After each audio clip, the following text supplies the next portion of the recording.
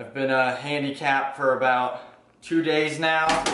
This bathroom is not handicap accessible! I think I'm handling it pretty dang gum well. Hey, I'll do the dishes. Oh, wait, I won't because I'm handicapped! My doctor gave me these special pills and told me to only take one a day. Ah! Somebody order an elevator! I have handicapped parking spaces to fill. I'm not on welfare, Mom! You're on welfare!